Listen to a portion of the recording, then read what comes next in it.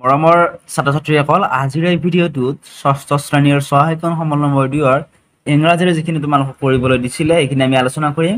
বাকী গোটেইকেইটা ছাবজেক্টৰ ভিডিঅ'ৰ লিংক ডেছক্ৰিপশ্যনত দিয়া আছে তাত ক্লিক কৰি তোমালোকে চাই ল'বা। যদিহে তোমালোকে আমাৰ এই ইউটিউব চেনেলটো ছাবস্ক্ৰাইব কৰা নাই তেনেহ'লে চেনেলটো ছাবস্ক্ৰাইব কৰি ল'বা আৰু কাষতে থকা ঘণ্টা বুটামটো টিপি অল কৰি ল'বা। তেতিয়া মই দিয়া ভিডিঅ'ৰ নটিফিকেশ্যন তোমালোকে পোনপ্ৰথমে পাবা।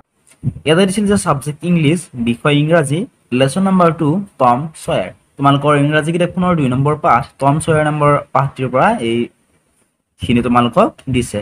এক নম্বৰটো চোৱা look at the picture below' carefully তলত আমাক এখন ছবি দিয়া আছে। এই ছবিখন আমাক ভালদৰে চাবলৈ গৈছে মনোযোগেৰে। এণ্ড হেল্প দ্য মেন এতিয়া আমি এজন মানুহৰ ছবি দেখিবলৈ পাইছোঁ। এণ্ড হেল্প দ্য মেন সেই মানুহজনক সহায় কৰা।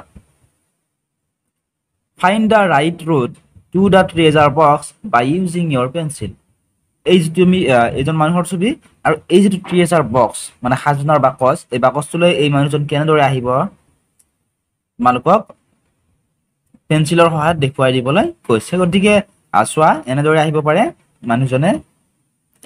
ইয়াৰ পৰা এনেদৰে।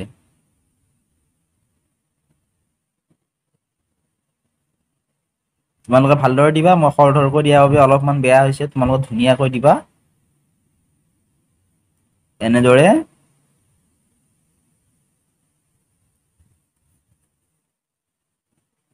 তাৰপিছত এনেদৰে আহিলে এই মানুহজনে থ্ৰী হাজাৰ বক্সটো পাই যাব। গতিকে এইখিনিত আৰু বেলেগ কৰিবলগীয়া নাই। এইখিনি বুজিলে তোমালোকে কৰিবা। এতিয়া চোৱা দুই নম্বৰৰ এই দিছিল চোৱা। Let us learn some new words and their meanings তলত আমাক কেইটামান শব্দ দিছে নতুন শব্দ। আৰু সেইবিলাক শব্দৰ মিনিং দিয়া আছে আমাক এইখিনি ভালদৰে পঢ়ি লৈ বুজি ল'বলৈ কৈছে। ৱৰ্ড মানে হৈছে শব্দ মিনিং মানে হৈছে অৰ্থ। কি দিছে চোৱা? এডভেঞ্চাৰ এডভেঞ্চাৰ মানে হৈছে দুঃসাহসিক কাৰ্য। মিনিং দিয়া আছিল an unusual and exciting or daring experience adventure হ'ল এনে এটা কাৰ্য যিটো অসাধাৰণ আৰু উত্তেজনাপূৰ্ণ বা সাহসী অভিজ্ঞতা। তাৰপিছত দিয়া আছিল L A M E lame মানে হৈছে লেঙেৰা বা সুৰা। ইয়াত কি দি আছে চোৱা মিনিংটো unable to walk walk without difficulty as the result of an injury or illness affecting the leg or foot যিকোনো কাৰণত ভৰিত পোৱা আঘাতৰ বাবে খোজকাঢ়িব নোৱাৰাজনক আমি কি বুলি কওঁ খৰা হোৱা বুলি কওঁ বা লেম ইংৰাজীত এল এ এম ই বুলি কওঁ। এতিয়া চোৱা narrow N A double R O' W ঠেক বুজায়। ইয়াত ঠেক বুজাইছে আৰু মিনিং দি আছে চোৱা? Of small within relation to land কম ঠাই বা তেনেকুৱা ধৰণৰ বুজাইছে। তাৰপিছত চোৱা এস্কেপ এস্কেপ মানে হৈছে পলায়ন। কি দি আছে চোৱা? মিনিংটো breaks free from confinement or control কাৰাবাস বা নিয়ন্ত্ৰণৰ পৰা মুক্ত হোৱাটো ইয়াতে বুজাইছে। তাৰপিছত চোৱা কি দিছে? পিগেক্স মানে হৈছে এবিধ সঁজুলি। A tool for breaking hard surfaces with a long wooden handle and a carved metal with a carved metal bar with a sharp point. এই সঁজুলিবিধ হৈছে চোকা আৰু ই অতি আৰু ই পিছত বেকা বা বক্ৰ ধাতুদণ্ড আৰু কঠিন পৃষ্ঠতল ভাঙিবলৈ ব্যৱহাৰ কৰা ই এক সঁজুলি আৰু ইয়াৰ হেণ্ডেলডাল দীঘল আৰু কাঠৰ হয় নেক্সট চোৱা বি নম্বৰ দিছিল now let's read the lesson Tom Sawyer and find out and find and underline the এভ words in the lesson এতিয়া কি কৈছে তোমাক টম চয়াৰ নামৰ যিটো লেচন আছিলে দুই নম্বৰ পাঠ আছিলে তোমালোকৰ সেই পাঠটো তোমালোকক পঢ়িবলৈ দিছে আৰু ওপৰত যিকেইটা শব্দ আমি পালোঁ সেই শব্দকেইটাৰ তলত বিচাৰি আস্থা আনিবলৈ কৈছে এইটো চোৱা এইটো ইমান ইম্পৰ্টেণ্ট নহয় এচি নম্বৰ চোৱা এইবাৰ Find and write some more new words from the lesson Tom Sawyer. Underline them and write the words and their meanings with the help of dictionary. ঠিক আছে ফাইন এণ্ড ৰাইট চাম মোৰ new words কিছুমান তোমালোকৰ টম and Sawyer নামৰ পাঠটো চাই। কিছুমান নতুন শব্দ তোমালোকক ইয়াতে লিখিবলৈ গৈছে। আৰু ডিক্সনাৰীৰ সহায় লৈ সেই শব্দকেইটাৰ মিনিং ইয়াতে তোমালোকক লিখিবলৈ গৈছে।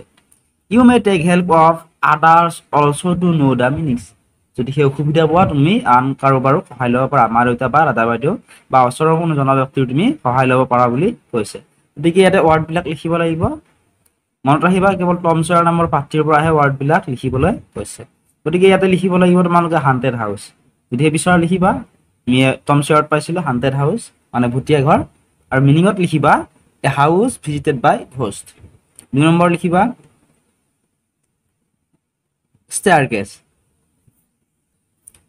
ইয়াতে লিখিবা যে a set of stairs inside a building including the an stairs তিনি নম্বৰত লিখিব পৰা গ্ৰাম্বল। গ্ৰাম্বল শব্দটো আমি পাইছিলোঁ টম চেয়াৰ নামৰ পাঠটিত।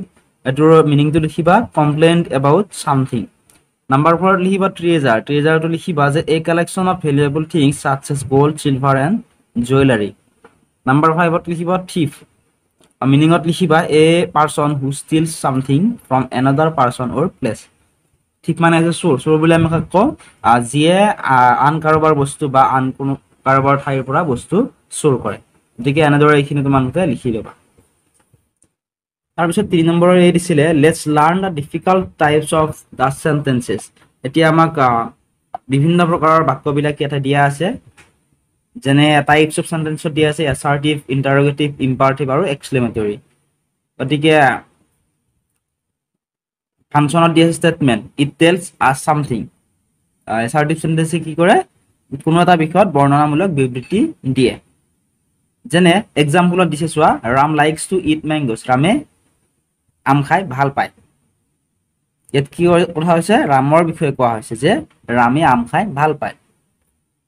আৰু ফাইনেল পাঞ্চুৱেশ্যনত দি আছে ফুল ষ্টপ এনেকুৱা ধৰণৰ বাক্যৰ শেষত ফুল ষ্টপ ব্যৱহাৰ কৰা হয়।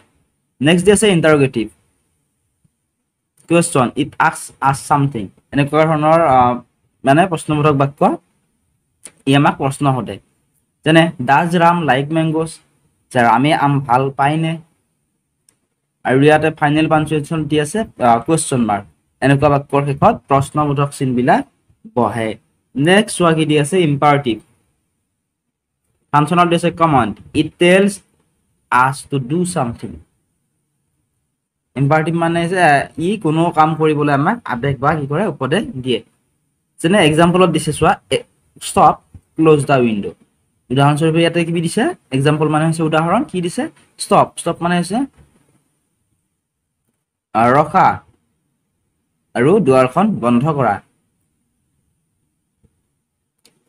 আৰু ফাইনেল পাঞ্চুৱেশ্যনত এই চিনটো ব্যৱহাৰ কৰা হয়। ইয়াক কোৱা হয় এক্সক্লেমেশ্যন মাৰ্ক এণ্ড এনেকুৱা ধৰণৰ বাক্যৰ ফাইনেল পাঞ্চুৱেশ্যনত এক্সক্লেমেশ্যন মাৰ্ক বা ফুল ষ্টপ ব্যৱহাৰ কৰা হয়। এইটো কোৱা হয় বিস্ময়বোধক চিন বুলি অসমীয়াত নাম্বাৰ ফ'ৰত দিছিল চোৱা এক্সক্লেমেটৰী চেণ্টেঞ্চ মানে আৱেগসূচক বাক্য। এক্সক্লেমেশ্যন ইট এক্সপ্ৰেছেছ ছাৰপ্ৰাইজ এই বাক্যই আমাৰ মনত আনন্দ বেজাৰ আৱেগ উত্তেজনা আদি প্ৰকাশ কৰে। যেনে এক্সাম্পলত দিছে what an adventurous story he told us তেওঁ আমাক কি দুঃসাহসিক কাহিনী এটা কৈছিলে। গতিকে ফাইনেল পাঞ্চুৱেশ্যন হয় এক্সক্লেমেশ্যন মাৰ্ক মানে বিস্ময় বোধক চিন ব্যৱহাৰ কৰা হয়। তাৰপিছত বি নম্বৰ দিছিলে চোৱা now let's identify the different types of sentences given below' এতিয়া আমাক বিভিন্ন প্ৰকাৰৰ বাক্যবিলাক দিয়া আছে। টিক দ্য কাৰেক্ট অপশ্যন এই বাক্যবিলাক দিয়া আছে। বাক্যটো এক্সক্লেমেটৰী চেণ্টেঞ্চ হয় নে এছাৰ্টিভত এছাৰ্টিভ চেণ্টেঞ্চ নে ইণ্টাৰগেটিভ নে ইম্পাৰেটিভ চেণ্টেঞ্চ হয় আমাক সুধিছে। গতিকে বাক্যটো চাওঁচোন কি দিছে। On a Saturday evening the two friends decided to go' on a treasure hunt গতিকে এইটো কি বাক্য হ'ব? এছাৰ্টিভত হ'ব। এছাৰ্টিভ চেণ্টেঞ্চ গতিকে ইয়াতে তোমালোকে শুদ্ধ চিন দিবা।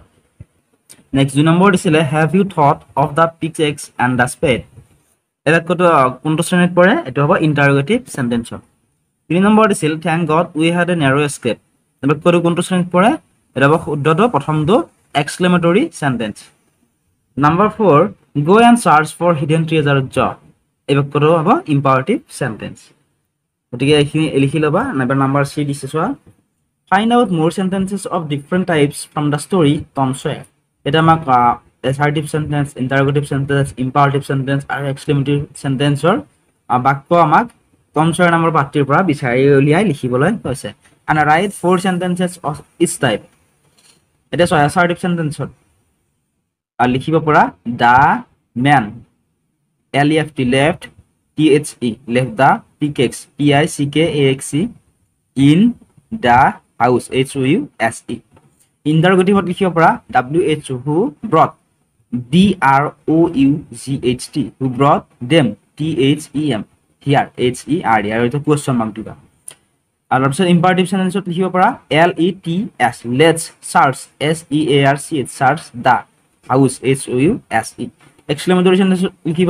treasure T R E S U R E A R D R N D W D buried B U R I E D I N in haunted H A U N T E D haunted house H U S E চাৰি number দিছিল চোৱা look at the pictures below' and find the matching words for them from the lesson এতিয়া আমাক picture দি আছে ছবি দিয়া আছে ছবিকেইখন চাবলৈ দিছে আৰু ছবিকেইখনৰ লগত মিলা শব্দৰ টোৰে আমাক খালী ঠাইখিনি পূৰ কৰিবলৈ কৈছে। এইটো চোৱা ছবিখন ভালদৰে ইয়াত দেখা পোৱা নাই তোমালোকৰ সময়খনত ভালদৰে চাবা।